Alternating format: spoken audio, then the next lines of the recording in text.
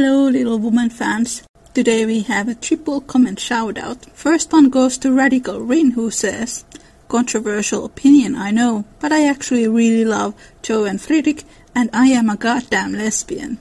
This comment lives in my head, rent free. Another comment shout out goes to Janie Cat 318. I don't care what Tumblr or Greta Gerwig say. It's completely canon that Jo and her professor were crazy in love, got married, and had two adorable boys, Rob and Teddy. If Louisa May Alcott really didn't want them together, why didn't she kill him off in the sequel? Instead, we got two sequels where they clearly are still madly in love and thriving in the chaos of Plumfield. Here is a quote from the other art blog.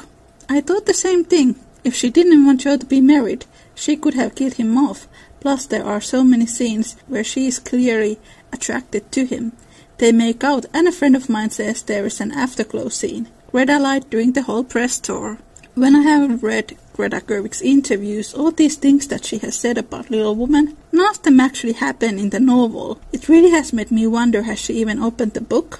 She says that she is some sort of an Alcott expert, and then she ignores some very important elements about her, like the fact that Louisa loved Germany, which is not really something you can miss, especially if you study books that Louisa liked to read. She even studied German and traveled there. I'm going to dissect Gerwig's sayings that actually don't happen in the novel. Adaptive attractiveness means that in a film or a TV version, a fictional character who is not written to be conventionally attractive is played by an, an attractive actor. In Little Woman, this happens with Jo, with Friedrich, and with Laurie. Laurie in the book is written to have brown skin, yet in all adaptations between 1917 and 2019, he has been played by a white actor. Laurie having brown skin is important because in the plot of the book it plays to the way he sees himself and contributes to his character. I made an episode about it, it's called Laurie and Adaptive Attractiveness. Adaptive attractiveness applies to Jo as well. Jo in the book is not written to be pretty. She is tall and quite muscular. She is tanned and likes to be outside, but in the 19th century that wasn't considered attractive at all. She is very clumsy and socially awkward. Louisa May Alcott's niece Lulu, she said that her aunt had a very low voice like a man's. That is what Jo looks like in the novel. I've had people leaving not very nice comments to my channel where they complain about the looks of Katharine Hepburn and Sarah Davenport. Katharine played Jo in the 1933 Little Woman and Sarah in the 2018 Little Woman. But I understood these commenters complained that these actresses were not pretty enough to play Jo. Yet these two actresses actually look closest to the book Jo. Let's put a pin on that. Not pretty enough to play Jo, who is not written to be pretty. In Little Woman, Louisa May Alcott criticizes society's obsession with beauty. Katharine Hepburn and Sarah Davenport are tall, they are athletic and muscular. That is what Jo in the book looks like. If you put the book Laurie and the book Jo next to one another, they are not very balanced. Laurie is effeminate. He is written to have small hands and small feet. Next to Jo, he seems small. It is not just Jo. There are people who complain that Gabriel Byrne Mark Stanley and Paul Lukas, who have all played Friedrich, were not good looking enough. And then there are people who say that Ian Bohen, Gabriel Byrne, Louis Garrel, and Rossano Brazzi are too good looking to play Friedrich. All this about a book where the author is criticizing society's obsession with youth and beauty. The most disturbing group of people are the ones who say that the book Friedrich is not handsome enough for Jo, despite the fact that Jo is not written to be particularly beautiful herself and one of the main themes of the novel is that love beautifies a person. Louisa May Alcott was taller than most men. She also liked to run and she exercised. In the 19th century, the average length of women was a bit shorter than now, so you can imagine that Louisa stood out. In the novel, Jo feels herself as a freak and as an outsider. There is criticism towards Meg and Amy because they wish to fit into the female circles. Movies have been criticized because they put the spotlight on Jo and don't focus that much on other sisters. But lately there has been more discussion how Jo or Louisa demonizes sisters' femininity. In the 19th century, the world between men and women was strictly divided. One of the reasons why Jo prefers the male company is because there is less criticism about her looks, at least not in front of her. She feels quite insecure about her body and often compares herself to Amy and Meg. They are treated better in the society because they look more feminine. Meg is written to be the most beautiful of the sisters. Amy is not that beautiful, but she is poised and she has nice manners, but Jo has quick tongue and she can control her mood changes. Let's start with this quote from Gerwig saying that she hired a hot Bhaer, that Jo would feel herself like a winner, because, quote, how could she say no to someone as handsome as Timothée Chalamet? Jo in the book is never attracted to Laurie. Laurie is described to look very effeminate, and there are times when Jo even refers him as girly or daughter. Saoirse Ronan and Timothy, they are Gerwig's golden duo. If she makes a film where the two are, her fans and their fans are going to see it, and many of them have not read Little Women and never read it. I didn't follow the press tour of the 2019 film, but Little Woman fan Jimena did, and this is what she says. You know, the funny thing is that it does seem to me that Saoirse and Timothy are in a situation pretty much like Jo and Laurie in the book, where Saoirse can't make clearer that they are just friends and Timothy keeps pushing. I mean, I watched the whole press tour and there were a couple of times where he said that they have the same relationship as Jo and Laurie, only he hasn't declared his love. And at one time, Florence added, yet and a few times Saoirse has been pushed to admit feelings for Timothy, and she keeps saying they are just friends. Emer Greta, in an interview for Vogue, they asked her if she was trying to set them up, and she was like, sure, why not? It is a similar thing to what happens to Jo. How could she not want that handsome man? Based on this, it sounds like this film didn't have nothing to do with Little Woman, and more to do with the actors and the director shipping them. There are also fans who romantically ship the two actors and the characters that they play. Jo criticizes Laurie in the book because Laurie is quite materialistic, very different to Friedrich who is always willing to give away from the little that he has. I made an episode about it called Why Friedrich is Poor. For Louisa, it was important that partners in a relationship shared the same work morals, which is what Jo and Friedrich do. And Jo also criticizes that Laurie doesn't care about school and he doesn't like to work. Jo loves school. She wants to go to university. She also admires Friedrich because he is hardworking and they have similar views about education. These elements of Jo's and Laurie's differences and Jo's and Friedrich's similar interests are not in Gerwig's film. The entire Team Bhaer vs. Team Laurie debate that Little Woman is known for, it is entirely manufactured by filmmakers. 1994 film has been accused of romanticizing Jo and Laurie, Greta Gerwig's Little Woman is accused for the very same thing. Same has been said about June Allyson and Peter Lawford in the 1949 film. The list goes on and on. In the novel, the whole reason why Jo travels to New York is because she doesn't want to be alone with Laurie because he is harassing her not only trying to push her into a relationship, but a physical connection that she does not want, at least not with him. If we would actually see Laurie harassing Jo in the films, do you think we would have this entire debate? Here is another quote from Jimena. I read the book expecting and even looking for some romantic elements in Laurie and Jo scenes, but there was none. In the first book they are best friends and nothing more. It's until the second book that everyone notices Laurie's advances, but Jo asks them not to talk about it because it makes her super uncomfortable. Every time he tries, he hits a wall. Seriously, how did he reach to the conclusion that a proposal was appropriate? Did he even have a ring? Greta portrays Laurie just as the character would have portrayed himself, as the martyr who loved a girl who never loved him back. Laurie is not a martyr. People shouldn't pity him. He ignored Jo's signals once and again. He tried to force her to accept, and even threatened to hurt himself. That is so toxic. But Greta Gerwig does. There is this one group who she says that Jo and Laurie belong together. Then another group who she tells that Jo is gay. And third group who she says that Jo is asexual and never wants to leave her home. And the only thing in common with these groups are her anti-Friedrich statements and racist propaganda of him being German. Here is a quote from blogger My Fanfiction Garden.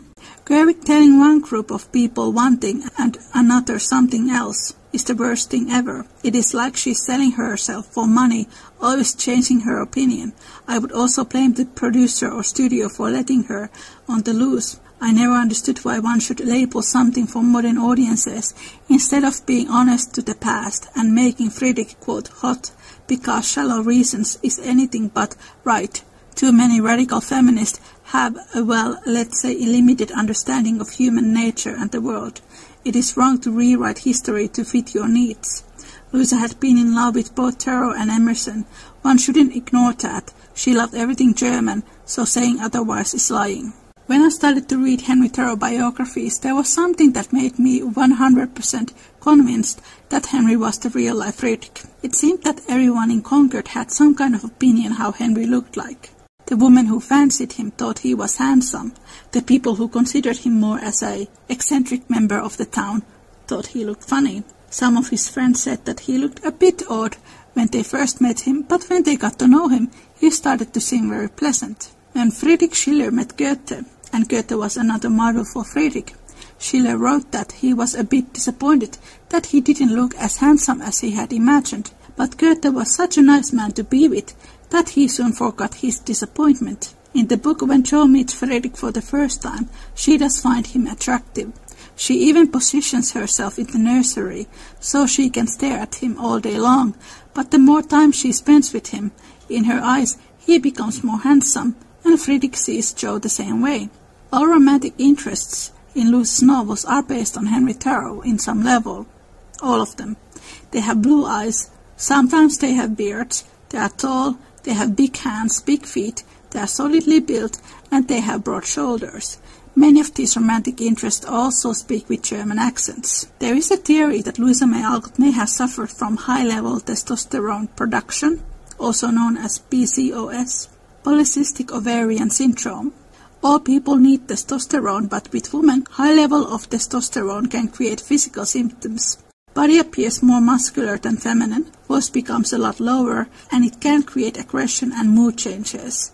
Louisa has been described with all these symptoms.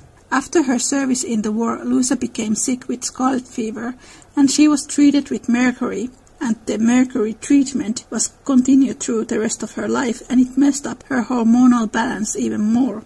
You would find Henry reading Plato and wondering about the relationship between man and nature. He never seemed to care how he looked, with his white hair, shabby clothes, and scuffed boots. He liked to eat with his fingers. For the smith in Louisa May Alcott, Thoreau's eccentric surface was part of his charm. As she later wrote, beneath the defects the master's eye saw the grand lines that were to serve as the model for the perfect man. Louisa wrote about this into Little Woman. Is the scene where Jo begins to describe Friedrich in her letters.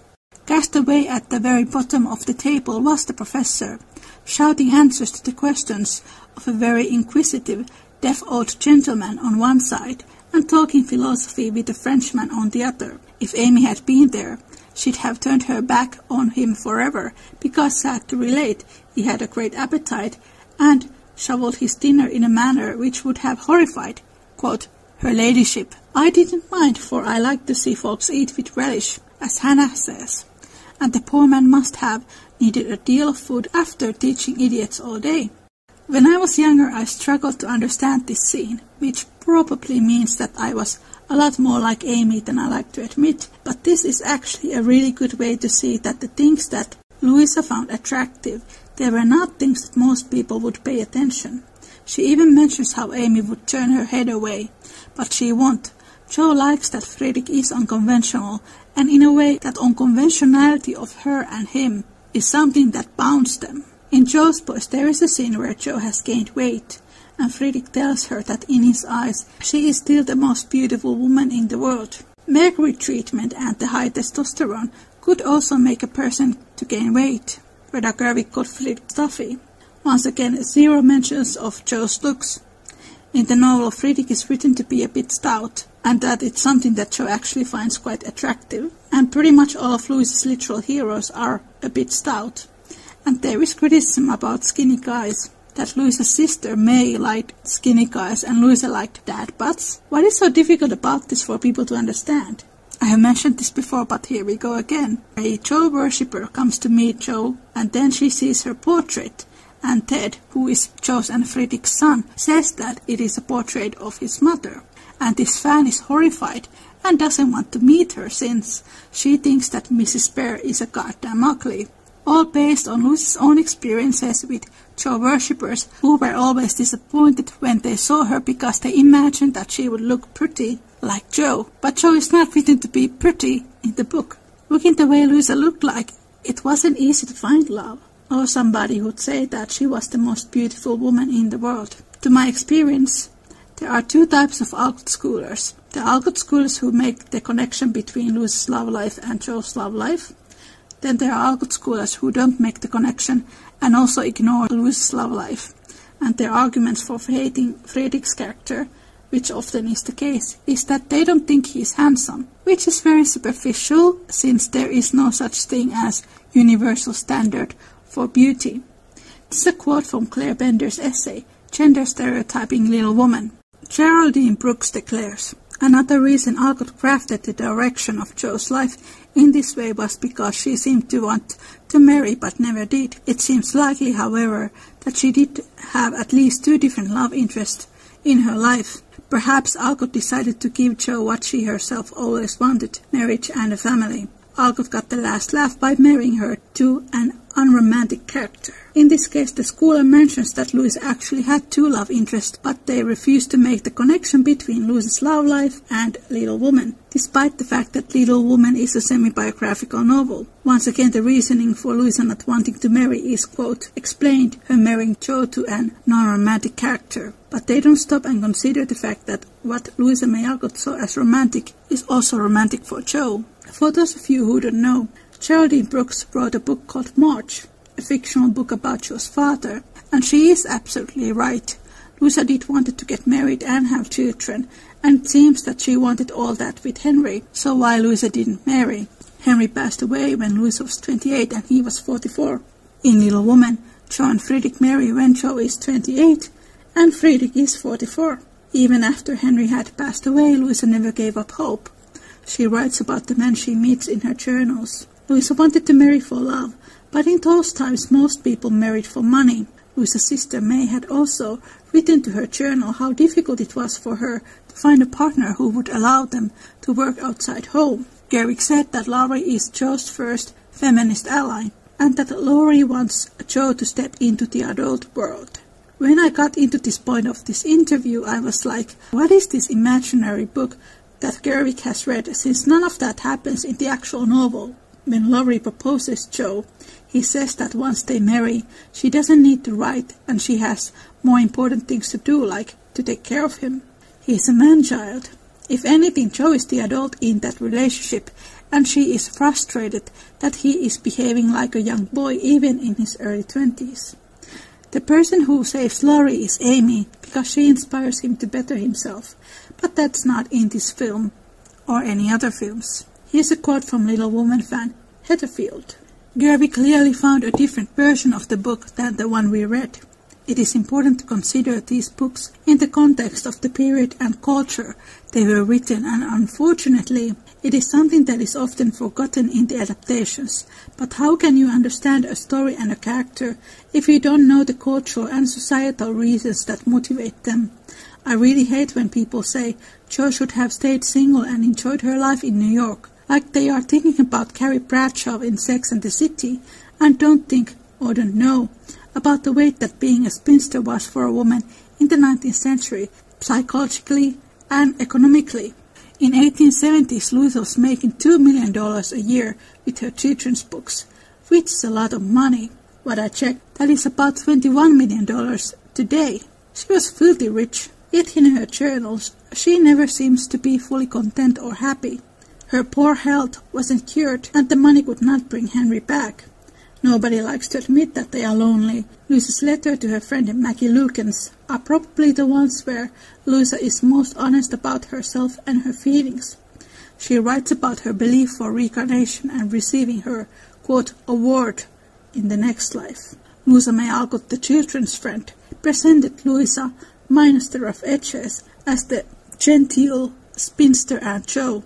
Louisa and her publisher, Thomas Niles, invented the image and built Louisa into a brand. Alcott scholar Daniel Shealy has echoed this style of branding, saying that it was a way to keep Louisa's public image pure.